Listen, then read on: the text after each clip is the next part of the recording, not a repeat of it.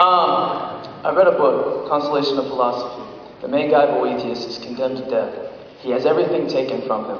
All he has is his reason and his sense of self. Not even that. But he attempts to console himself to this execution by reasoning that the world has order, that there is something that keeps things together. And he uses his reason to try and get to the root of why he should be at peace at death.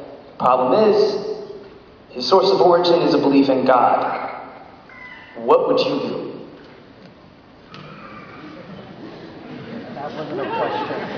That was a rant. Well, I, I don't know if I fully understand the question. I do know that uh, if he's about to be executed, uh, How about you are about to be executed? oh, I'm about to be executed. You have nothing except your knowledge and your, your knowledge of science, your experience. I would request that my body in death be buried, not cremated, so that the energy content contained within it gets returned to the earth so that flora and fauna can dine upon it, just as I have dined upon flora and fauna throughout my life.